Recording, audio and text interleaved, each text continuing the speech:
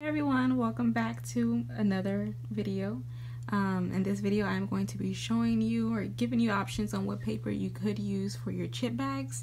Um, also, I'm going to give you examples of the ones that I've used for each paper. I'm going to be telling you where you can purchase the paper from. Um, also, this is just going to be for inkjet printers because that's all I have is an inkjet printer.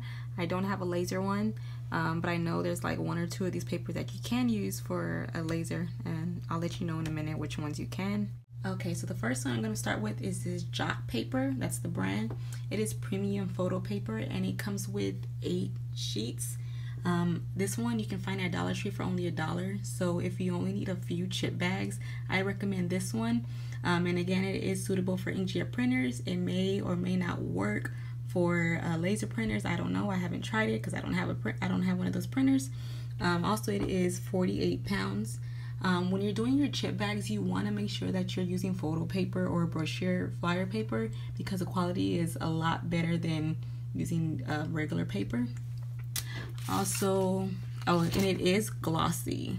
This one is glossy. It's one-sided glossy paper and I didn't have I didn't print any chip bags with this one but I did uh, print some uh, Gatorade labels with it. And as you can see the quality is good. So if you're looking for a, a, much cheaper option I'd go with this. Again it's only eight sheets but you get it for a dollar at Dollar Tree. So if you only need a few chip bags go ahead and buy that. It's a cheap option. So the next one I recommend is this Canon photo paper. And this is going to be for matte option um, it is 50 sheets and you can find it on Amazon for only $4.99, which is a really good deal. Um, it is 45 pound paper.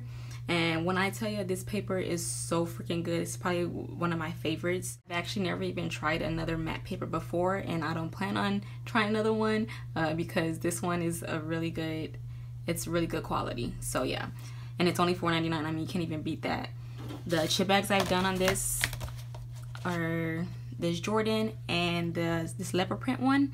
When you're making chip bags that have like the main color is like a dark color such as red, black, or gray, um, I recommend using matte photo paper because the matte option, it looks the quality looks a lot better. Not saying that it doesn't look good on glossy paper. Um, in my opinion, uh, dark colors just look better on matte paper.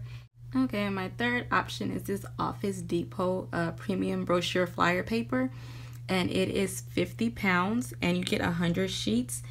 And honestly the prices vary so much. Like when i first started purchasing purchasing this paper last year like around uh, march it was priced at 16.99 and then from then on to now it's been like it ranges from 16.99 up until 29.99 so honestly it really depends. And again you do get at office depot um, the good thing about Office Depot though is that they always have coupons. They always have a 20% off uh, coupon, so you can always get it a little bit cheaper. Um, yeah, but again, the, the prices vary on this one, which is why I've tried other options. Don't get me wrong, this paper is really good. This is um, my first favorite, and then I think the matte will be my second.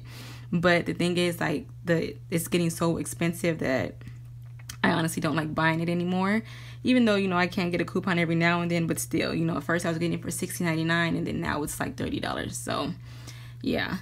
Um, but it is good quality paper. Um, the chip bag that I've done so far, most of my chip bags I actually do on this paper.